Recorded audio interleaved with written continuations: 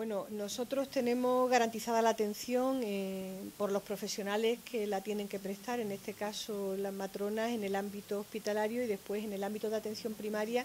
hay algunas especialistas en matronería. Lo que mm, pasa es que se compagina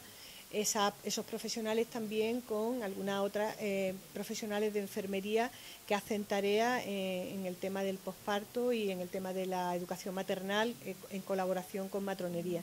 Sí que hay alguna demanda por parte de las asociaciones de matronas eh, para que se pueda ampliar el servicio de atención primaria, que en estos momentos no está previsto porque sí está atendiéndose en atención especializada y en primaria, pero con, el número de personas que estaba previsto, sí se está estudiando las reivindicaciones que plantean ahora mismo el colectivo de, de matronas